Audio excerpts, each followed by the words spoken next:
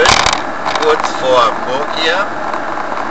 Ja, das ist landschaftlich hier ein ganz anderes Spanien, wie, wie das so aussieht. Äh, eine Hochebene, normale Landwirtschaft, kaum noch Folienboden.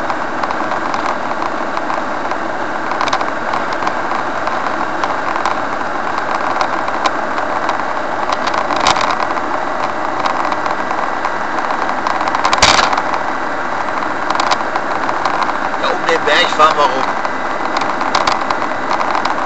Aber hier geht es nach Mazaron.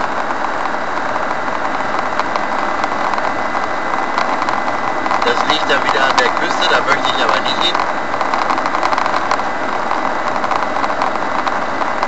Ich werde heute noch bis Elche fahren.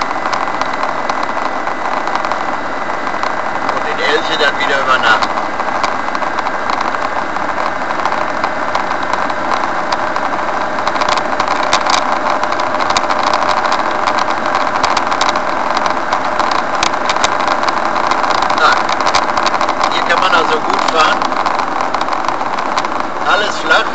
Freut sich.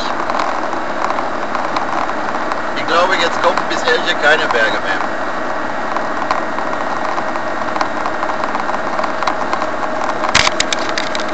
So, bis dann.